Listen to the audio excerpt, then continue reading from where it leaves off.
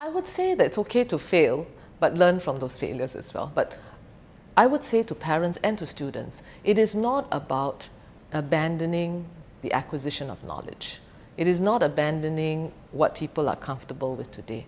Computational thinking is an additional muscle that we are giving to our students. And in today's digital world and where technology has become so much more relevant in, in um, both our, not just the economy, but in, even in our own uh, private lives, in the way we live, it is important to have that muscle to be able to then participate actively and also to have the confidence to participate actively. So I would say to anyone who is saying that, hey, you know, should I do computational uh, thinking? should I do coding? I would say try. It's not abandoning one for the other. It's about building an additional muscle and it's about helping you stay relevant and having that skills to participate actively in a, a, a world that is increasingly more technology driven.